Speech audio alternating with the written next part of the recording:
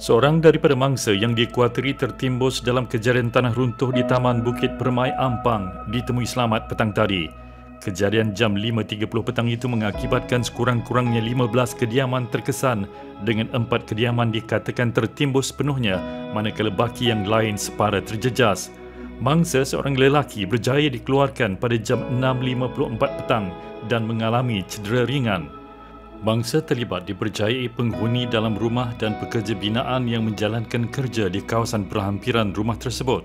Pengarah Jabatan Bomber dan Penyelamat Malaysia Selangor Nur Azam Kamis berkata pihaknya juga pada masa ini sedang mengesan kemungkinan terdapat lagi bangsa lain yang turut tertimbus.